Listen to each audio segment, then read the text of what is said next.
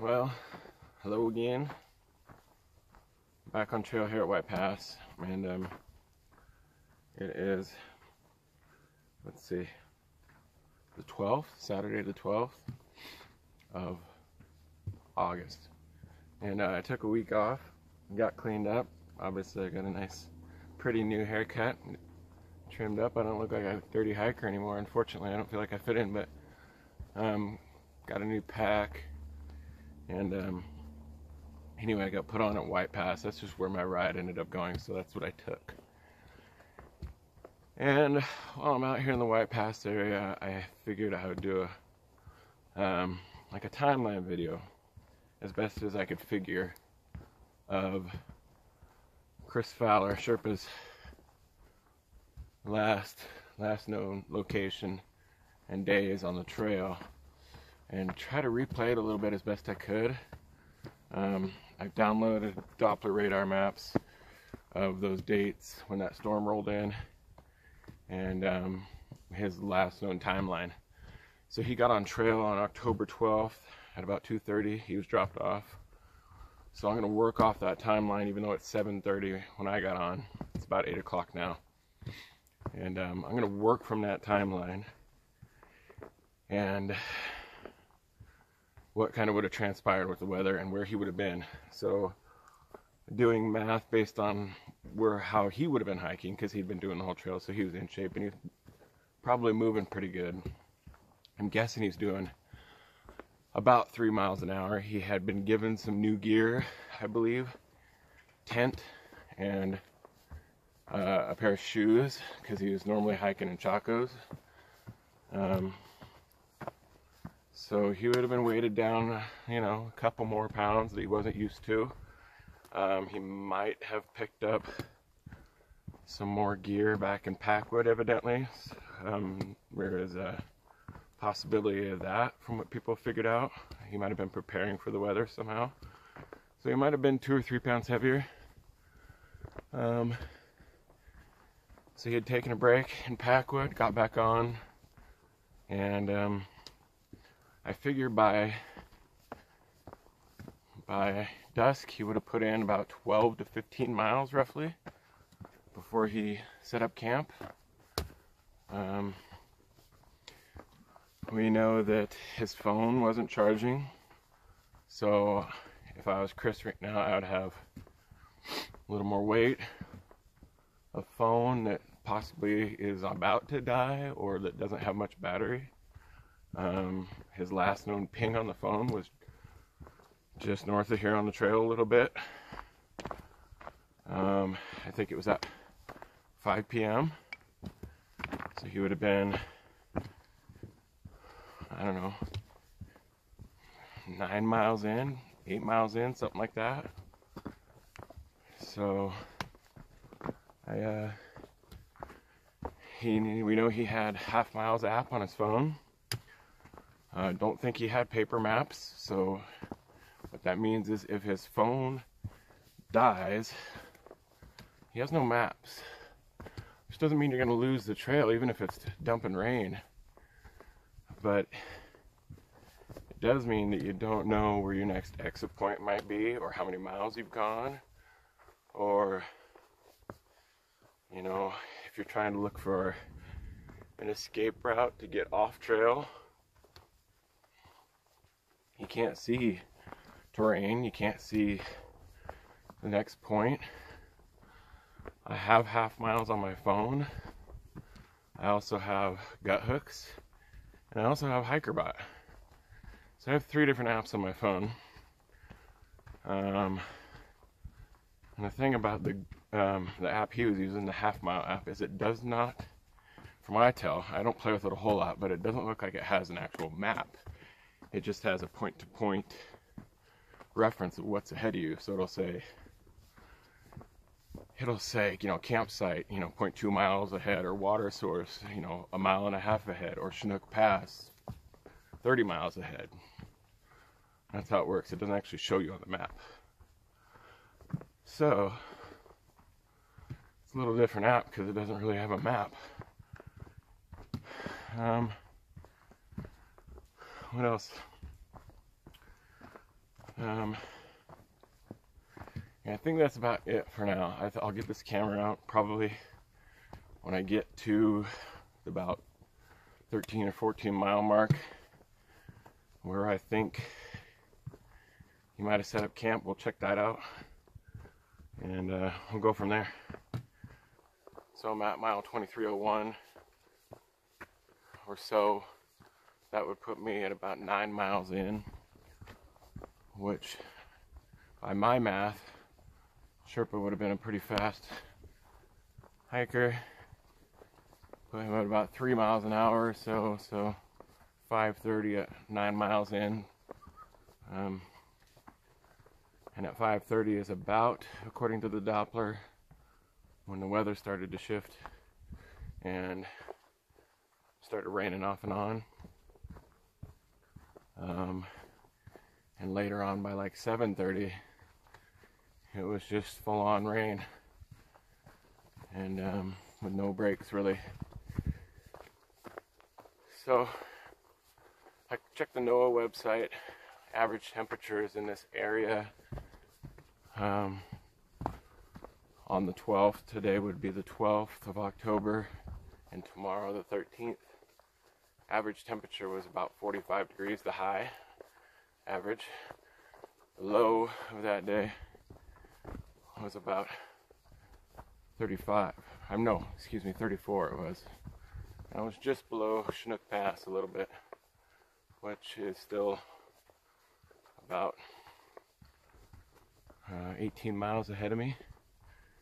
So at this point, I would have got rain gear out and put my rain gear on.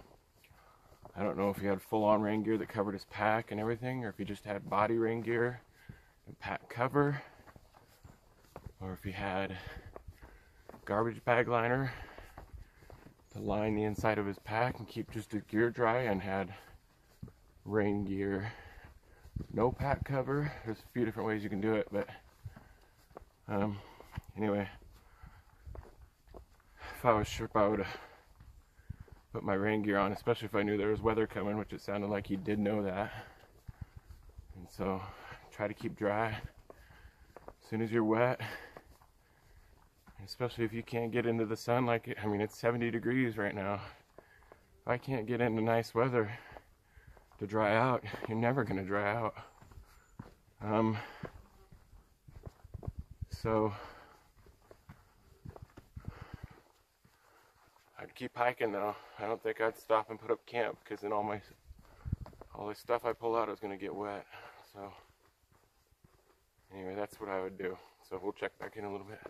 So uh, I wanted to make a note while I was hiking back there and doing my video uh, I got a text message from Christina, and um, the point is that I have Verizon service, and so did Sherpa, and so I've been turning my phone off and on to check and see if I get service, and so back there, I at least got an incoming message. I don't know if I'd ever get a message out, but I think it was worth noting, um, even though um, I think that Sherpa's phone might have died by then. The last ping on his phone was like two miles in from the trailhead, so um, he's having troubles charging. So it might have already been dead, but I just thought I'd note that at mile nine, I did get a message in on Verizon.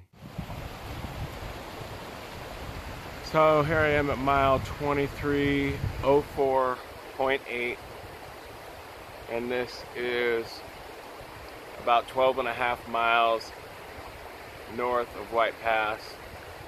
Um, and this would have been about 6.30 Sherpa time, which would have put him at just about sunset. So it would have been getting dark about now. And um, at this mile mark, there's this creek. Um, you got this great camp area here. There's a lot of sites here on both sides of this creek. Um, it's a little exposed. Um, so I don't know if he would have picked this spot because it's kind of exposed. There's not many trees to hide under. And if he's wet and potentially trying to avoid getting more wet um, and set up his tent in a dry spot. This might not be the best area. I mean, I'm looking around and I can maybe see a couple places to put a, a tent under a tree or something. Um, but it's not, I mean, if you're wet and you're done for the day and you've been hiking, you know, like three hours now in the rain, you might just be ready to throw down. And, um, set up wherever you can find a flat spot that looks good. So this is just speculation. I don't know if he picked this spot or not. I think if I was hiking all day and or not all day but all afternoon and um, I was now wet and getting colder um, and it was getting dark I'd probably be done for the day um, so yeah another thought mile 2304.8.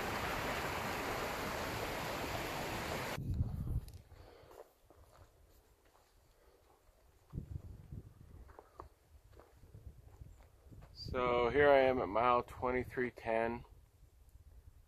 I'm at 5,700 feet. And um, I've passed several campsites and um, I think you know in Sherpa time this would be about 8:30 at night um, to get this far. Um, and at that point, he would have been rained on for like four hours. Um, be pretty wet, miserable probably, even if he had rain gear on. Um, I don't think you know even with rain gear, you end up getting wet if it rains constantly. Um, and I honestly think that this would be. There's a campsite back there about a little over half a mile that I meant to stop at, but um, I think that would have been the absolutely last point after dark that he would have hiked to. I mean, it seems like he would have been so wet and cold and wanting to, you know, hang it up for the day that I don't, I really don't think he would have hiked much further than this. Um, so I'm at the boundary of Mount Rainier Park, and um, um, I think I'll continue these videos as if I got up the next morning, and from that last campsite, about a half mile back, I would, I base it off of that. The absolute furthest I think he would have gone on the 12th. Um, and, and we'll go that way. So if it was morning of the 13th, it would have rained most of the night.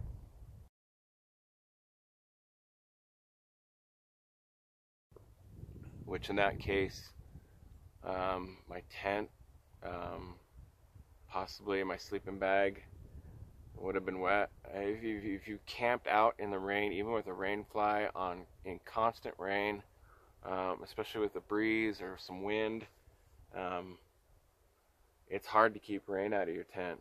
Um, you dig like a, a, moat around your tent and try to divert the, the water that's trying to run in. Um, and depending on how heavy the rain is falling, sometimes that works, sometimes it doesn't. And you end up with, you know, rain coming in the bottom. Um, with a breeze blowing, the rain comes in the sides and drips in through the through the uh, rain fly. Depends on the tent, um, but you know, possibly it could be, you know, all his gear could be wet. His tent, his sleeping bag, which makes him heavier, which makes everything just really miserable. And if the temperatures got down to 34, like I like I read, or you know, an average high of of what was it 45 during the day? I mean that's I mean that's like hypothermic perfect scenario for hypothermia. Um, myself I would be pissed right now if I was wet and cold and just started another day. Um, it'd probably be I'd probably get up as soon as I could and get moving again. Um, so daybreak at that time of year was about uh, 7:30.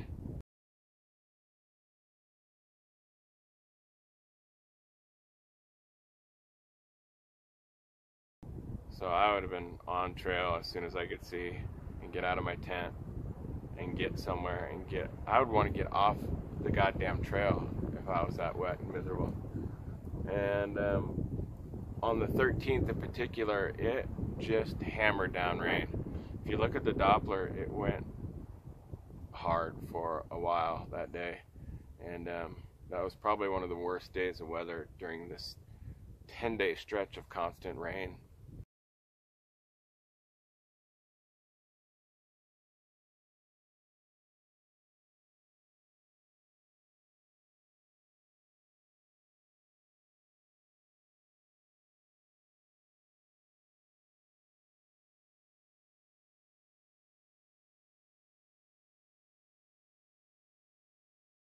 There's just a few breaks in there. And the shitty thing is, the rain held from about White Pass north. If someone was hiking south from White Pass, you wouldn't have had much rain. You watch the radar and it's north of White Pass and then it kind of keeps creeping and staying north of just White Pass, like following the PCT up as if, you know, it was just following Sherpa's path almost if he would have been just continued hiking. It's really just like the shittiest scenario for the weather.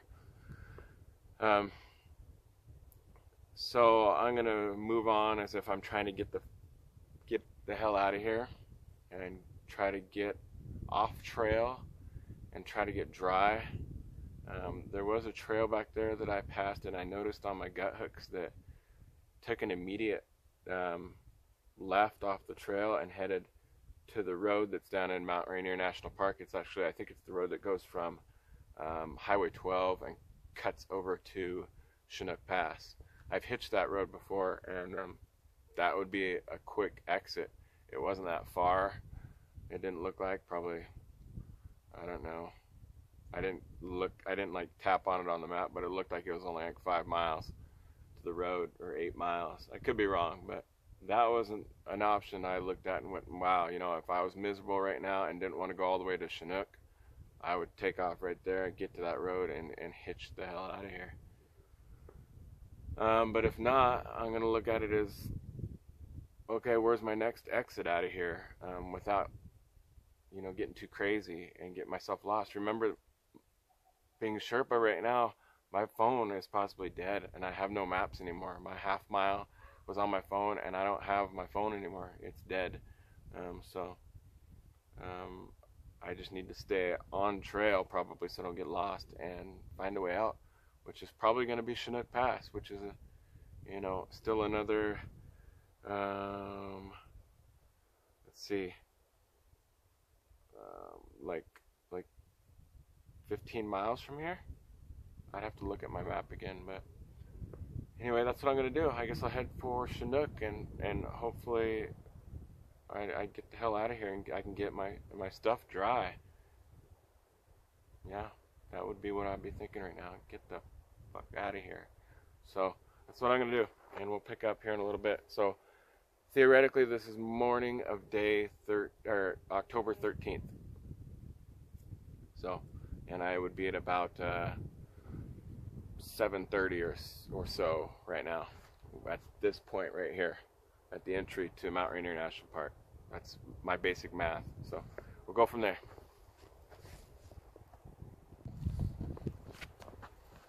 All right. So I wanted to share something with you.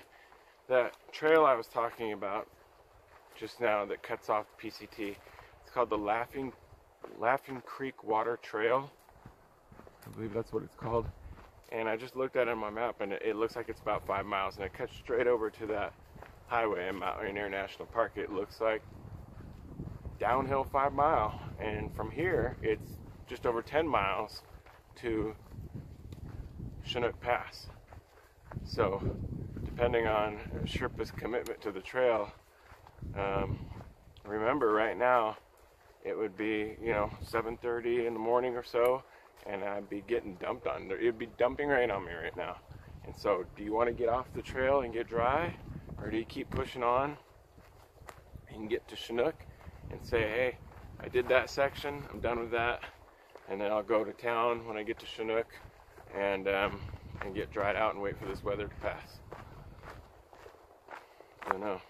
But another option. That trail, if I was soaking wet and cold, I would have taken that trail for sure and gone down to that road and hitched my ass out of here.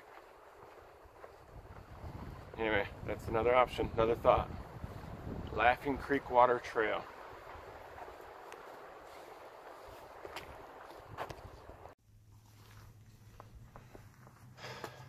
All right, good morning.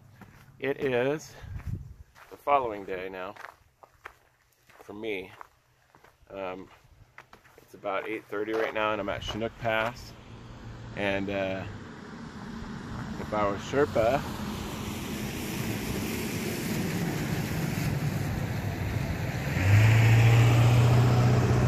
it would actually be the 13th morning, mid-morning on the 13th. And from the furthest point, I figure he would have hiked yesterday. Um, he would have got here at about uh, see 7:30, 8:30, 9:30, 10:30, 11 o'clock or so, because it's about 10 miles from that last campsite. So at three miles an hour, uh, you would have been here at about 10:30, 11, somewhere in there. Now, if I was him, it's been drizzling all morning, and I'm I'm okay. I'm not I'm not cozy, but I'm okay. But he would have been rained on, flat out rained on since 5:30 last night. Um, so he probably would have been pretty wet, and his tent probably was wet, and uh, possibly his sleeping bag, depending on how how he was able to stay dry overnight. Um, so, I mean, if I was him and I was soaking wet and I got to here right now, I would hitch one way or the other. It's a long hitch to town, but my phone might be dead. We know this phone could have, could have crapped out by now, no maps. And so I would need to get dry and I need to figure out my phone situation, my map situation. Uh, as you can see, there's there's cars going both ways, so you can get a ride. Um, and when I got to town, I would have made contact with somebody saying, hey, had to get back off right away. I was only on trail like 24 hours or whatever, but things got ugly and I had to get dried out. So I'm here, wherever that would have been. Um, he didn't seem like the type of person who would just kind of flake out and not let anybody know where he was, especially in a situation like this. So um, right now it would have been still raining and I'm going to attach the radar picture to that. Um, I would have got off trail at least to dry out because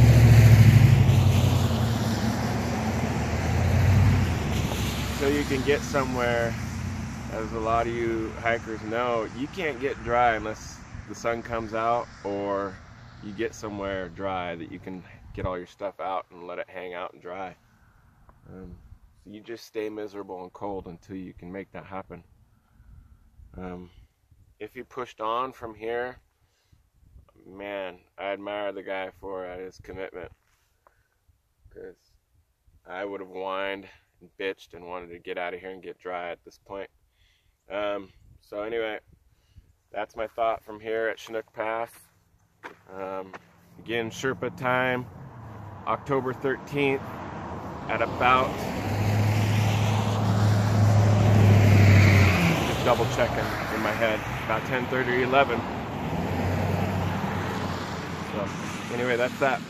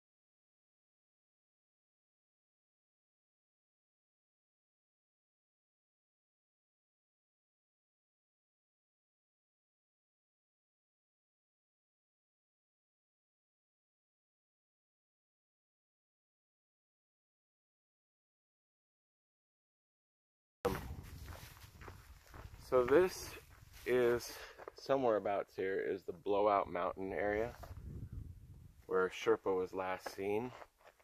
A couple of bear hunters said they passed him in this area. And um,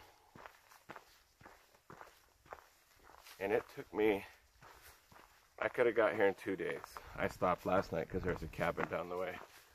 But I could have got here in two days of hiking. And supposedly, they saw Sherpa on the 22nd. 10 days after he got on trail. Um, to me, that doesn't make any sense. Um, that means he would have had to get off trail somewhere and spend, you know, at least four days or something, goofing around, getting dried out, whatever, resupplying. He would have got off at Chinook Pass to do that, probably. And so, for him to get off trail in a storm and be off trail for that many days and not make contact with somebody is a little odd to me. He doesn't seem like the kind of guy who would not make contact with somebody, especially if his phone had gone haywire was dead and not charging. I would have borrowed a phone, found a payphone, um, emailed, Facebook, something made contact, let everybody know he was okay and he was taking an extended break. 10 days to this point. I'm not really going for that. Um, you know, a lot of through hikers, when they get to this point, a lot of the guys, they all, they all kind of look the same.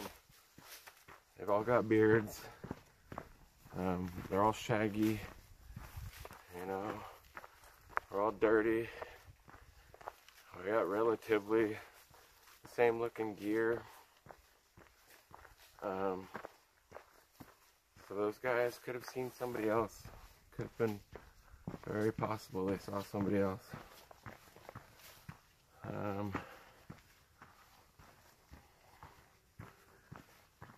spent the last two days just like it's almost mind numbing and draining, really kind of emotionally draining, thinking about Sherpa and scanning everything down every cliff I go by, every clearing. I'm just constantly scanning and um, looking for any colors, any shapes that are out of out of the norm. And uh, nothing. I've gone off on a few little side trails that have kind of caught my attention for some reason or another.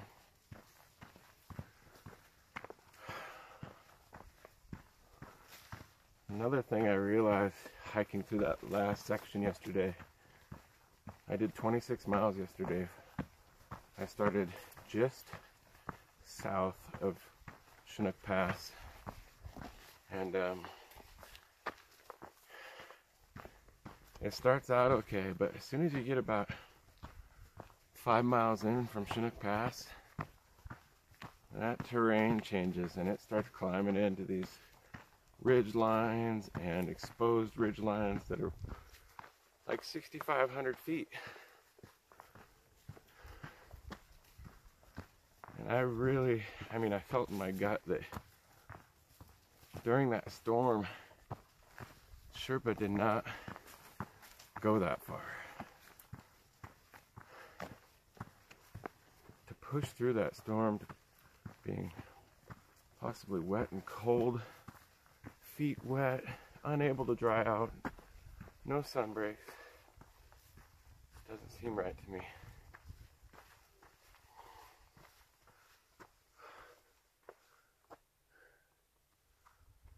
So,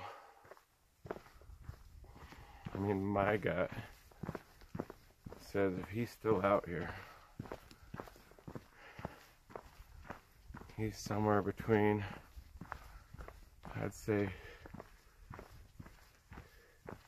10 miles north of Chinook, south.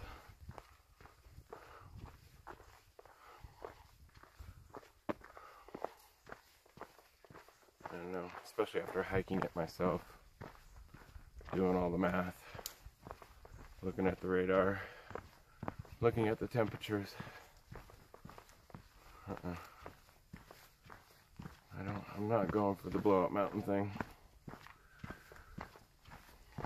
So anyway, I think from this point forward,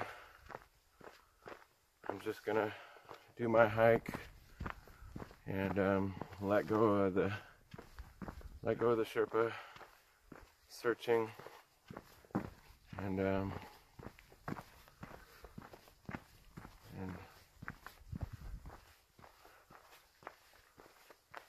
I just have to stay aware for myself for my own safety here. I don't need to be constantly thinking about that and breaking an ankle or tripping or you know doing something dumb myself because I'm not staying aware. So this point on, I'm letting go of that. I hike my hike the way I normally would.